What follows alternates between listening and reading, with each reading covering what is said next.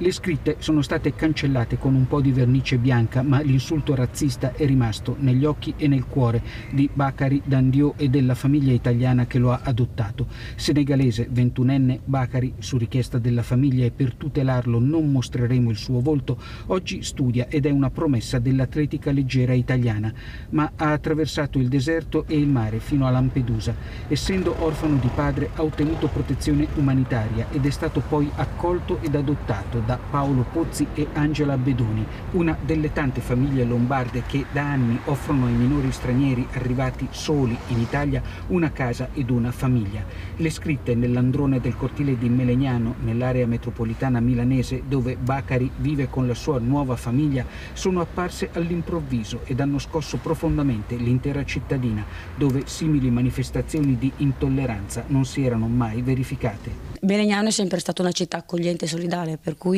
ci preoccupa anche come famiglia, nel senso che c'è un brutto crimine in Italia oggi e questa è un po' la conseguenza ecco, del, del, clima che c'è in Italia, in cui è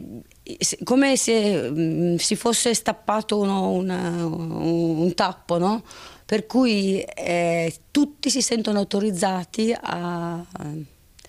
a dire le peggior cose e diciamo la verità, un, non c'è un bel clima oggi, c'è un clima di odio e di intolleranza, ecco che non va bene.